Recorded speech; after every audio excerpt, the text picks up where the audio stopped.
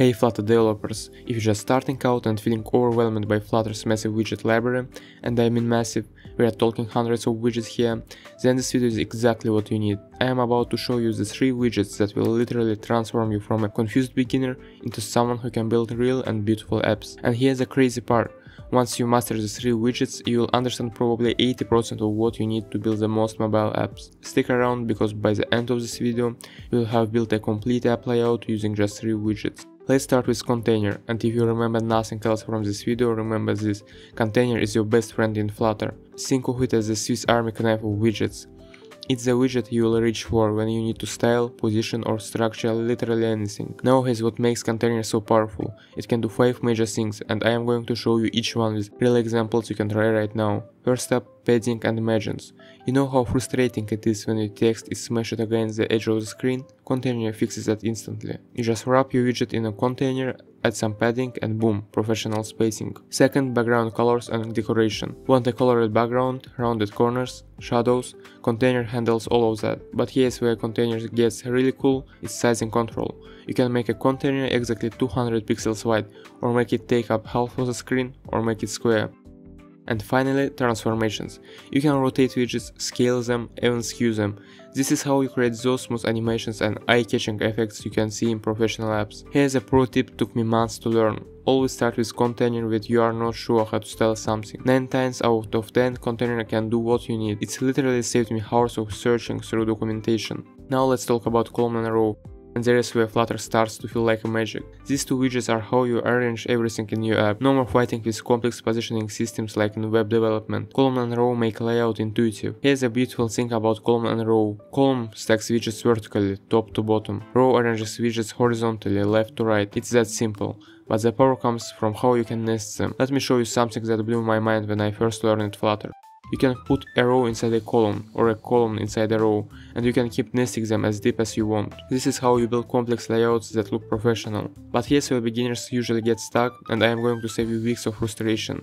The secret is in the alignment properties, main axis alignment and cross axis alignment. For column, main axis alignment controls vertical spacing. Do you want everything at the top, centered, spread out evenly? For row, main axis alignment controls horizontal spacing, and cross-axis alignment that's the perpendicular direction. So for column it controls horizontal alignment, and for row it controls vertical alignment. Here's a real-world example. You want to create a profile card with an avatar, name and description. You use a column for the main structure, then a row inside to put the avatar next to the name.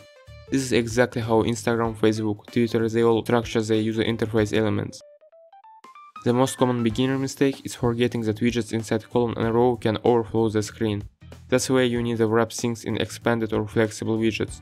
But that's a topic for another video. Master column and row and you have mastered 90% of Flutter layout. I'm not exaggerating, almost every screen in every app is clever combinations of columns and rows. Finally, let's talk about Scaffold, and this is the widget that makes your app actually feel like an app. Scaffold is your foundation, your structure, your app skeleton. Here's what's incredible about Scaffold, it automatically handles so many complex things that will take you days to implement manually. App bars, navigation drawers, floating action buttons, bottom sheets, snack bars, Scaffold manages all of this for you. Think of scaffold like the frame of a house. You don't build a house by starting with decorations, you start with the frame. Same with Flutter apps, you start with the scaffold. The body property is where all your main content lives.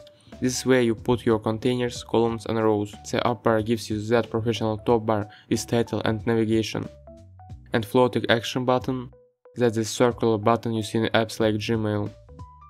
But here's what makes Scaffold really powerful, it automatically handles device differences.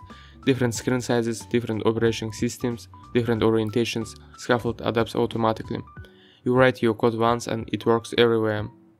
Pro tip, every screen in your app should probably start with a scaffold.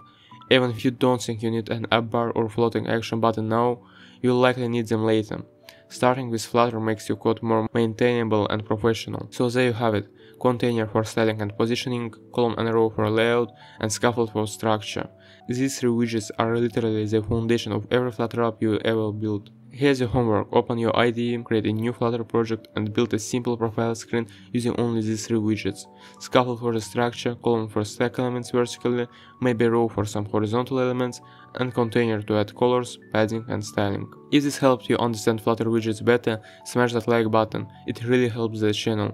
And subscribe because next week I'm covering the top 3 advanced widgets that will take your Flutter skills to the next level. Drop a comment below showing me what you built with these three widgets.